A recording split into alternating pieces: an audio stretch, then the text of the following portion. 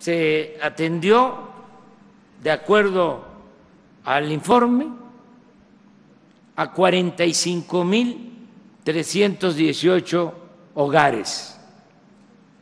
Ya se les entregó a cada familia 35 mil pesos de manera directa a 45 mil 318 familias.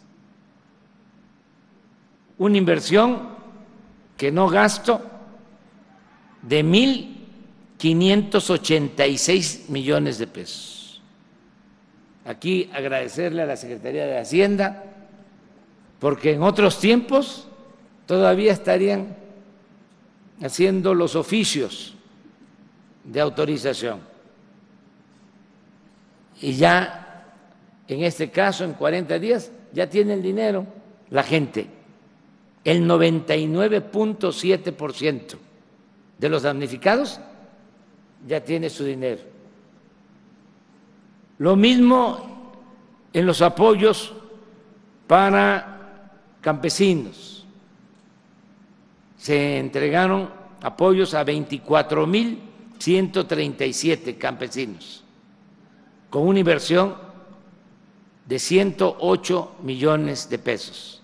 Y ya se entregó el 99.6%.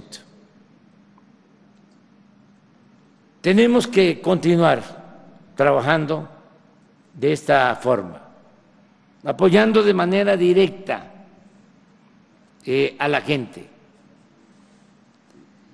Tenemos pendiente, y lo recuerdo, y le pido a Carlos Torres que tome nota,